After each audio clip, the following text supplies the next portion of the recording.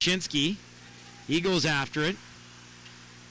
It comes to the corner, and the Hitmen will break it out to center. Postma on the right side. Over the line. Oh, what a big hit as Royer is run over by Van de Mosselaer. That was Royer who skated to the right side, and he heads to the bench after that big hit by the veteran Oil, Oil King Blue Liner. Now a long shot club.